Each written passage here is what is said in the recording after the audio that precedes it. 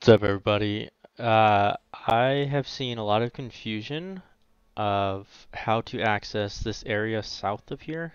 Um, there's a block door right here and a block door right here uh, for Artisanship, Artisanship Commission uh, for chests or whatever.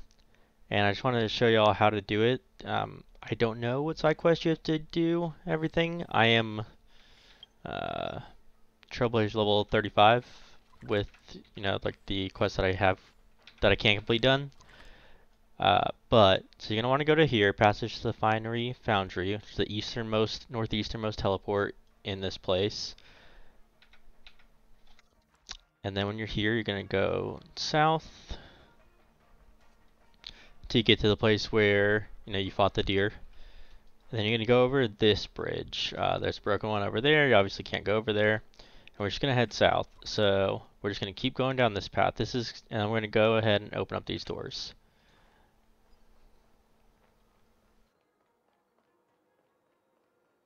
Keep going south.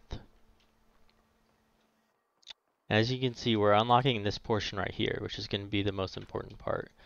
Uh, I might run into some enemies because I haven't done this myself. Um, mm, I'm going to try to avoid them as much as I can so I can show you what we need to do. Again, we're looking at the map. We can go over here. I'll go over there in a second, actually. I'm just waiting for uh, these things to fall off.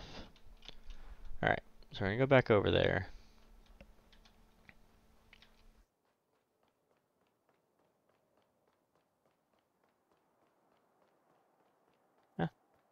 We're going to go here.